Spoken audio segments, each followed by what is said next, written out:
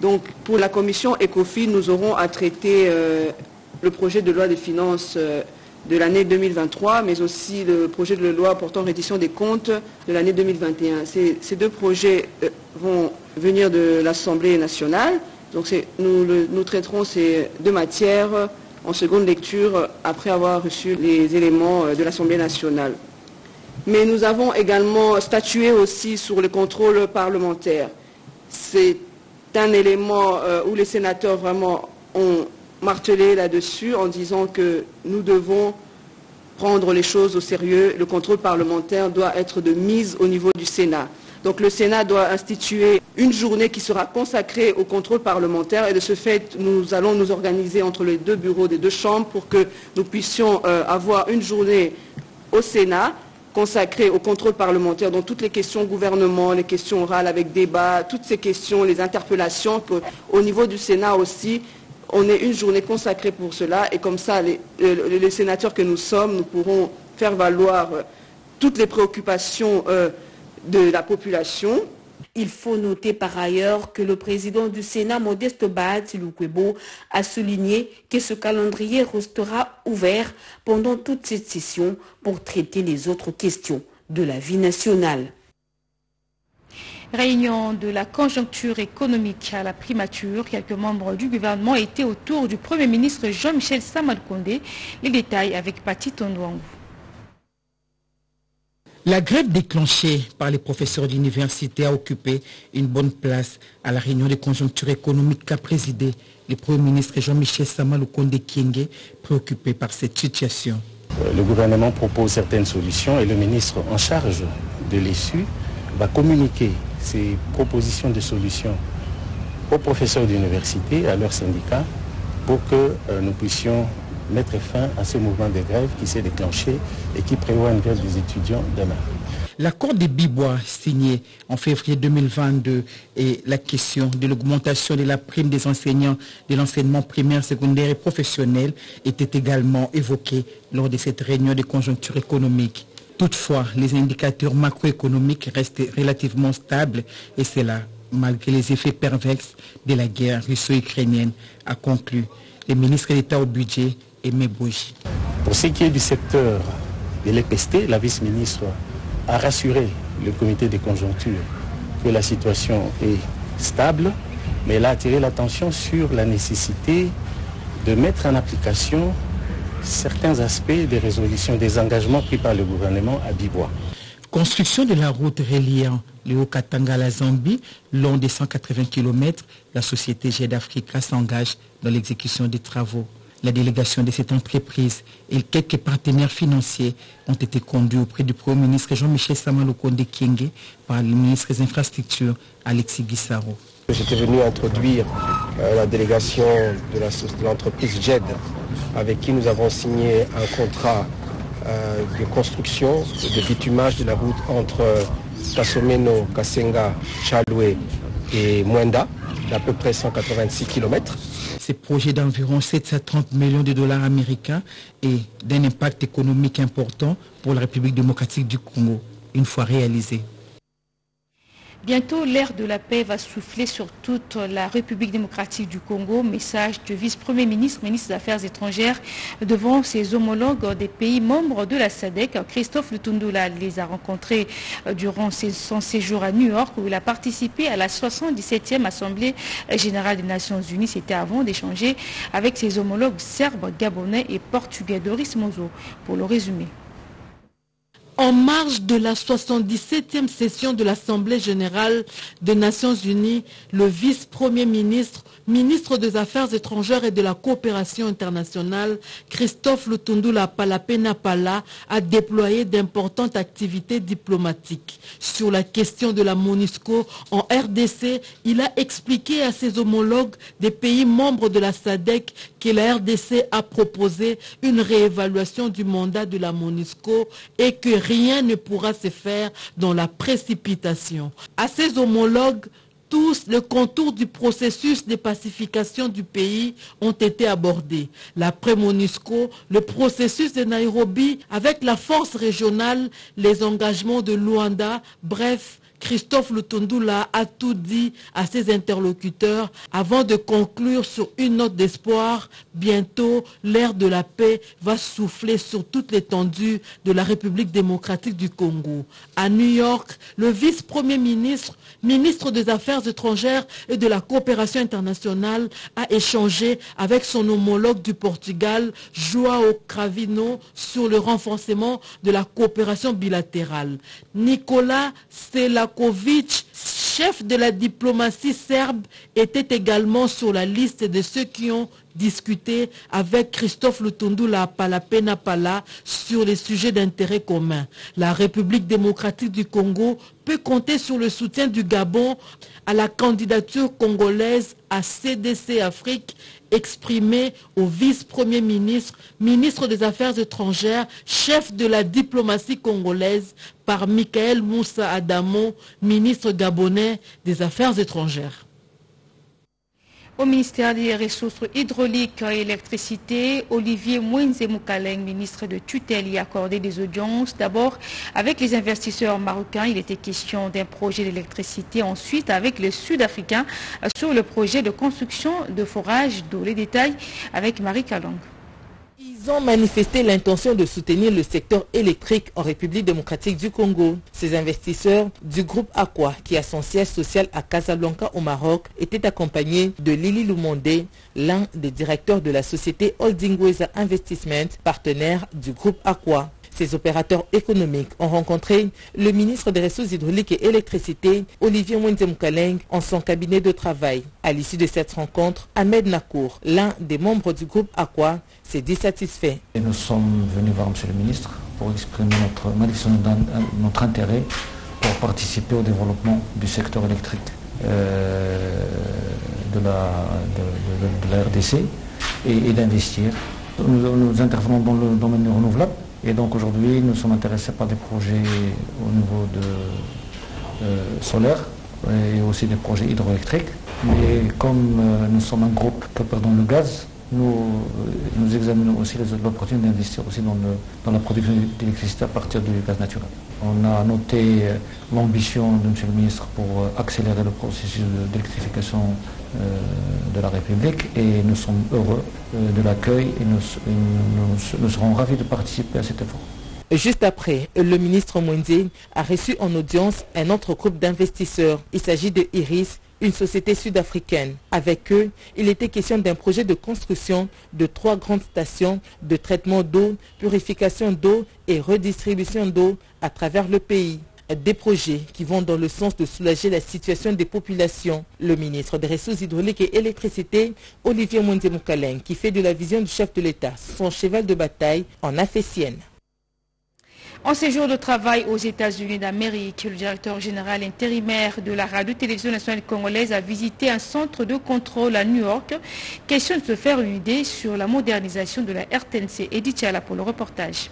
77 satellites déployés dans l'espace couvrant ainsi plus de 90% du globe et plus de 27 000 VSAT pris en charge par ces satellites, c'est l'énorme potentiel de la société CS que le directeur général par intérim de la RTNC et sa délégation ont visité aux États-Unis d'Amérique. C'est le site téléport de Virginie que Belide Bunga a visité, l'un des plus grands centres de télécommunications par satellite du monde, avec ses antennes gigantesques, ses différents racks et serveurs et son centre de contrôle. Ici, ces 77 satellites déployés sur la planète par CES sont scrutés, analysés avec perfection pour parer à toute éventualité. Le directeur général Beli Debunga a loué les efforts du gouvernement pour la modernisation des équipements de la RTNC. Le gouvernement de la République a décidé de moderniser la RTNC. Et à ce titre, il fallait commander du matériel audiovisuel, ce qui a été fait avec Studiotech, ce matériel va arriver bientôt.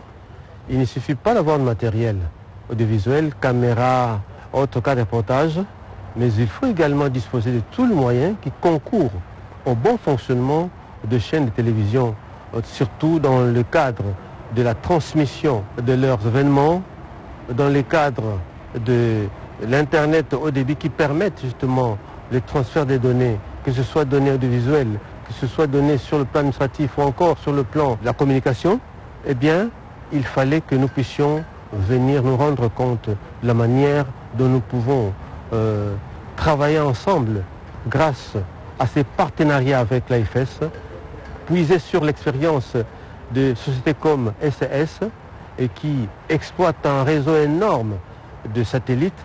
Nous avons été très très heureux de venir ici et nous savons qu'à partir de cette expérience, nous allons tirer beaucoup de leçons qui vont certainement nous permettre de prendre des options de manière à ce que l'information, la communication puisse être assurée d'une manière efficiente.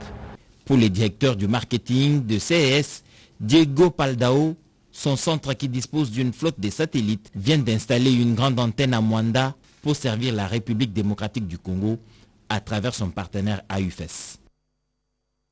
Et cette visite effectuée par le numéro 1 de la police nationale congolaise, euh, le général Silvano Kassongo, il a honoré les familles victimes des Kuluna.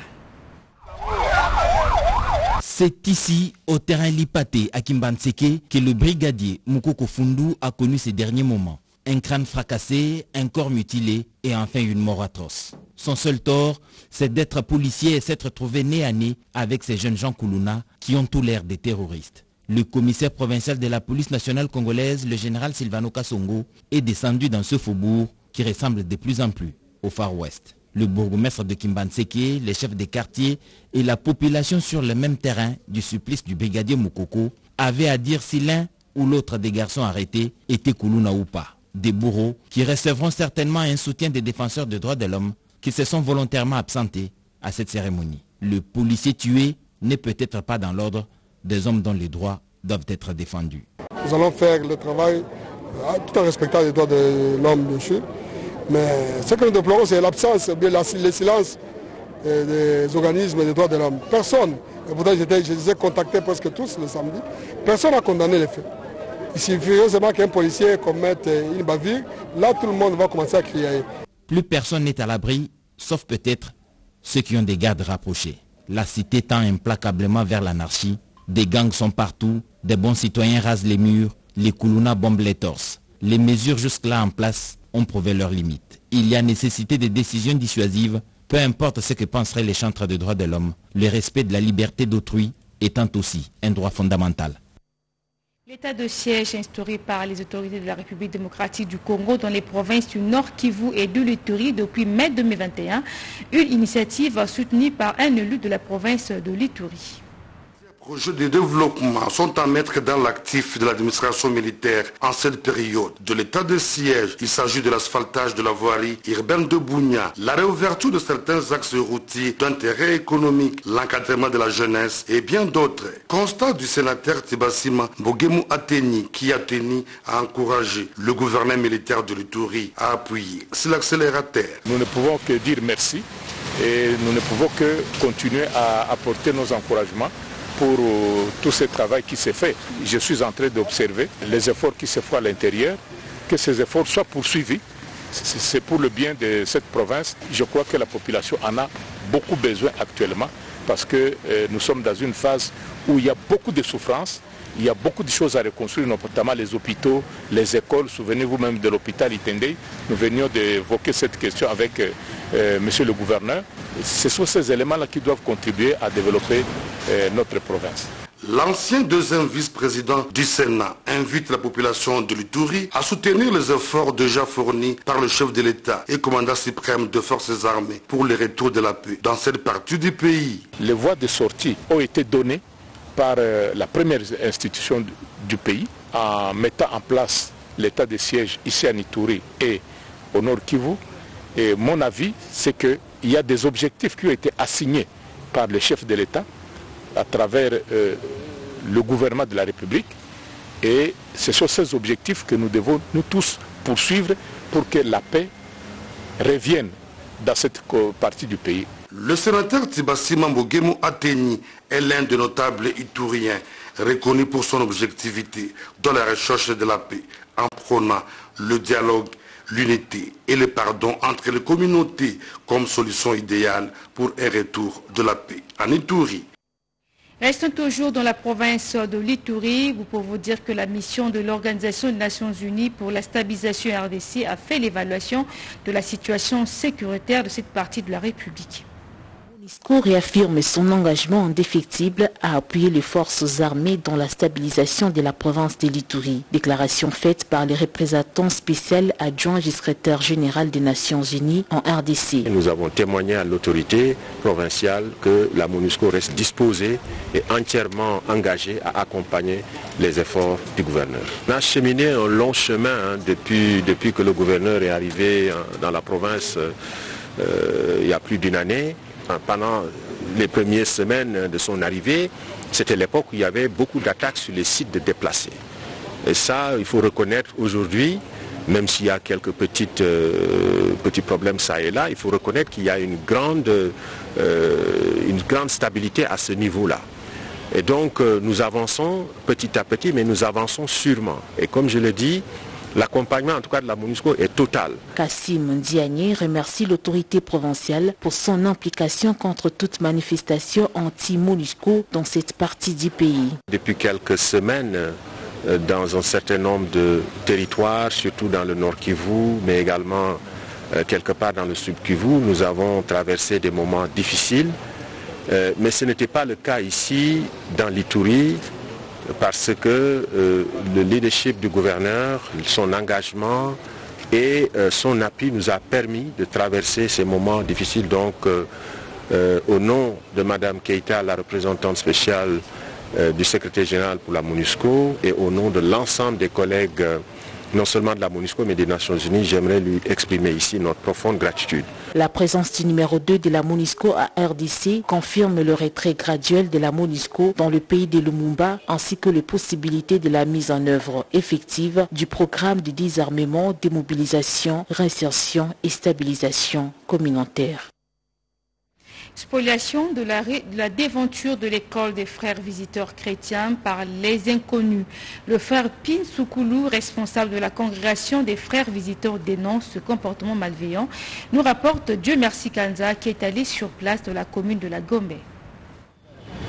Voici un comportement qui risque de nous faire croire que la ville-province de Kinshasa est un espace très réduit où il devient difficile d'aménager.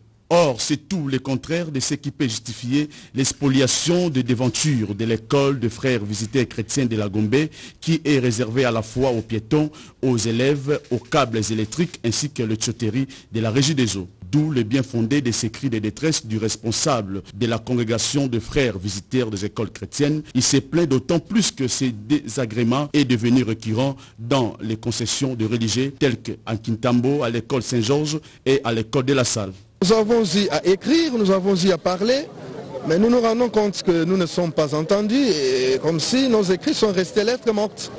Nous avons voulu utiliser cette voie pacifique parce qu'avant de venir ici, nous avons instruit nos enfants hein, parce que nous avons euh, au moins quatre grandes écoles ici dans cette concession sans pourtant compter les autres écoles que nous avons de l'autre côté de notre enclos. Et si vous y allez, mais vous serez vraiment euh, désolé de voir la déventure de nos écoles qui sont envahies par des bars, euh, par des garages, euh, et ce qui n'est pas digne parce que vous savez, euh, quand, vous, mettez les enfants dans un environnement comme celui-là, vous ne saurez plus vraiment les maîtriser. Voici déjà 112 ans, les frères Soukoula sollicitent l'implication personnelle du chef de l'État en ce moment où l'éducation compte parmi les principales préoccupations. Autre actualité, la ministre provinciale de l'éducation du Congo central a une série d'activités. Carole Kiatazabou a, dans le cadre de ses itinérances, effectué une visite d'inspection dans les écoles des provinces éducationnelles du Congo central 2 et 3. On en parle avec Iverson Kababa.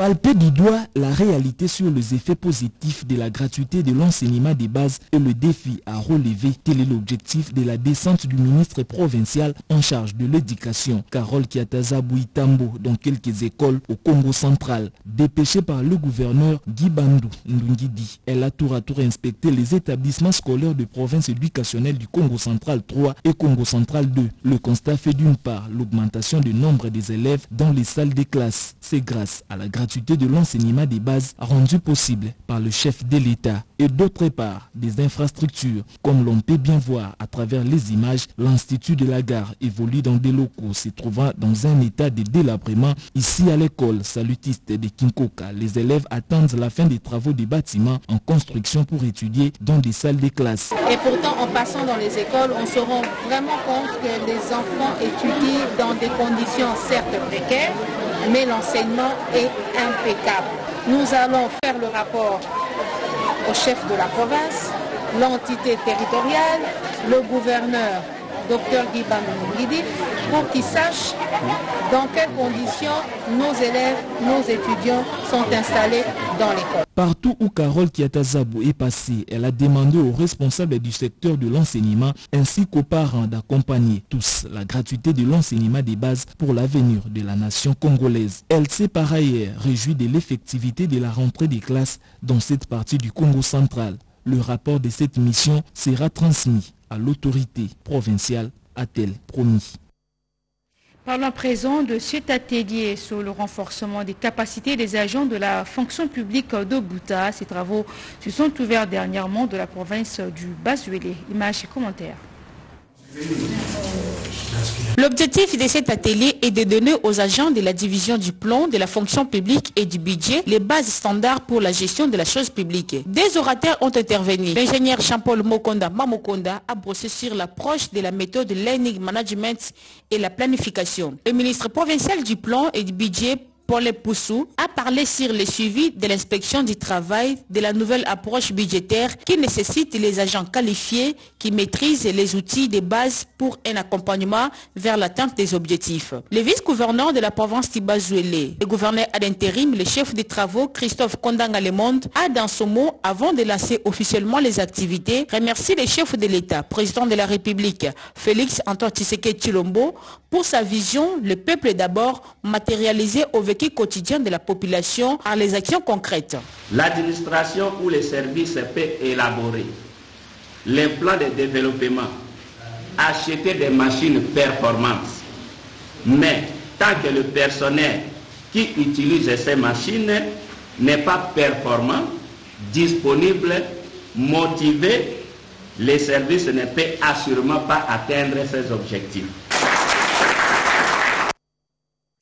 La photographie, cette technique permettant d'obtenir l'image durable des objets par l'action de la lumière sur une surface a été en ligne de mire au cours d'une conférence débat organisée par le secrétaire général à la culture qui tient donc à la promotion et protection de l'art en République démocratique du Congo. Reportage. La photographie est à la fois un art et une source d'information. En raison de cette ambivalence, la retouche photographique n'aura pas la même légitimité selon que l'on est un artiste. Il est aussi un créateur ou un reporter à un témoin de faits, Dixit, le président de cette corporation. Le ministère de la Culture et Art tient à valoriser ce métier dans la promotion des photographes congolais à travers leurs œuvres sur le terrain. Nous devons encadrer les métiers de photographie. C'est-à-dire nous devons les préserver. Et c'est le but qu'on nous demande d'avoir une politique culturelle qui est déjà prête. Parce que nous avons déjà un projet qui a été soumis à l'approbation de toutes les provinces. Et le chef de l'État est venu ajouter patrimoine. C'est montrer que c'est un homme qui a une grande vision de la culture. Le secrétaire général intérimaire de la culture et art s'engage à redynamiser ses œuvres et appelle d'autres partenaires et structures gouvernementales à leur emboîter les pas pour une valorisation de ces corps de métier. Autre fait de l'actualité, l'autorité de régulation du secteur de l'électricité a donné un avis favorable à l'entreprise Socodé après le dépôt de son dossier de demande d'une licence d'importation de l'électricité à Goma au Nord Kivu. L'autorité de régulation du secteur de l'électricité ARE en sigle a donné un avis favorable à l'entreprise Socodé SA après le dépôt de son dossier de demande d'une licence d'importation de l'électricité à Goma au Nord Kivu. Ce jeudi, 22 septembre 2022, le directeur général adjoint de l'ARE, Maître Marco Kouyou, a procédé au nom du directeur général, Dr Sandrine Nongalula Moubenga, à la remise des documents donnant cet avis favorable à M. Prosper Monsimbi Koubali, consultant en électricité à Sokodé SA. La demande a été traitée conformément à la loi selon les, les délais légaux aussi. Et aujourd'hui, nous étions dans la séance de la remise de l'avis favorable délivré par l'autorité de régulation, l'ARE. Selon M. Prosper Moussimbi, leur société a tout ce qu'il faut pour desservir la ville de Goma en électricité. La ville de Goma exprime un besoin vraiment énorme en énergie électrique et la société Sokode dispose déjà des infrastructures plutôt de base dans la distribution de l'électricité. En quoi le consultant de Sokode SA, cette licence d'importation de 10 MW d'énergie électrique va répondre dans l'immédiat à la demande de 4000 ménages et plusieurs milliers d'autres dans un avenir proche. La rage tue encore aujourd'hui dans le monde une personne toutes les 10 minutes. Ce virus, permet dans tous les euh, ce virus présent dans tous les continents touche majoritairement euh, les mammifères sauvages comme les chauves-souris de par leur proximité et son mode de transmission euh, salivaire. Les chiens représentent le trait d'union entre ce réservoir de virus et l'homme à l'occasion de la journée mondiale de la lutte contre la rage célébrée tous les 28 septembre. Le consortium de l'Organisation mondiale de la santé, l'Organisation des Nations unies pour l'alimentation et l'agriculture se serre le coude pour l'élimination de la rage de la planète d'ici 2030. Jen Balaka. Les 28 septembre, date anniversaire de la mort de Louis Pasteur, le monde entier célèbre la journée mondiale contre la rage. Cette dernière, causée par un virus mortel et transmise à l'homme par la morsure ou la salive d'un animal infecté. Le terme de cette 16e journée est la rage, une seule santé, zéro mort. En RDC, la célébration de cette année se tient dans un contexte un peu particulier du fait de sa coïncidence avec le début de la mise en œuvre du plan d'action national des luttes intégrées contre la rage humaine transmise par les chiens développé en 2021 suivant les recommandations de la tripartite OMS, OIE et FAO. Le chien est le principal vecteur de cette maladie et serait responsable de plus de 99% des cas de rage enregistrés. Cette journée est consacrée au plaidoyer afin de contribuer à la promotion de la lutte contre la rage par la sensibilisation de décideurs et du grand public sur les risques et les mesures de prévention. Avec la dotation de notre pays du plan d'action national de lutte intégré contre la rage depuis 2019, pour lequel sans mise en œuvre par l'avenir, notre pays pourra faire face aux multiples recrudescences de cette zoonose dans notre pays d'ici 2033. Selon les scientifiques, la rage est une zoonose majeure responsable de près de 60 000 décès par an dans le monde, dont 40% des victimes sont des enfants de moins de 15 ans. On estime qu'une personne meurt de rage chaque 10 minutes. La majorité des cas sont enregistrés en Asie et en Afrique. Et pour terminer, un consortium des sociétés sud-africaines, américaines et saoudiennes spécialisées dans la protection de l'environnement séjourne à Kinshasa pour investir dans le projet d'un milliard d'arbres. Les entretiens ont eu lieu entre les investisseurs et le directeur général de Fonds forestiers national, Rodépanda. Elle est de retour pour entamer les études de faisabilité afin de concrétiser certains projets conclus avec le Fonds forestier national et principalement le projet 1 milliard d'arbres à l'horizon 2023. Elle, c'est la firme Pionnier qui est une multinationale qui rassemble des Sud-Africains, Américains et Saoudiens. Et qu'est-ce qui est prévu pour ce faire? Ce que nous allons faire pour le moment, c'est d'abord les études, aller dans les provinces, commencer avec l'agriculture ou la pépinière. Et puis après une année, il y aura plus de 100 000 et quelques arbres que nous allons planter. Le DG Honoré Moulumba Kalala n'a pas manqué d'exprimer sa satisfaction. Content de voir que nous pouvons avoir des partenaires sérieux qui respectent leurs paroles, ils ont promis au chef de l'État qu'ils reviendront pour ce programme des milliards d'arbres et autres programmes qu'ils ont, agriculture, énergie, routes, rails et consorts. Eh bien, nous sommes contents de les voir et ils vont descendre en province, dans les cinq provinces, Kassai oriental, Kassai central, Kassai, Tanganyika et Sankoro, où ils vont euh, faire ce travail. Par quelle province démarrer ces travaux Vous savez, Kinshasa est très connu, tout le monde vient à Kinshasa, mais les provinces sont délaissées.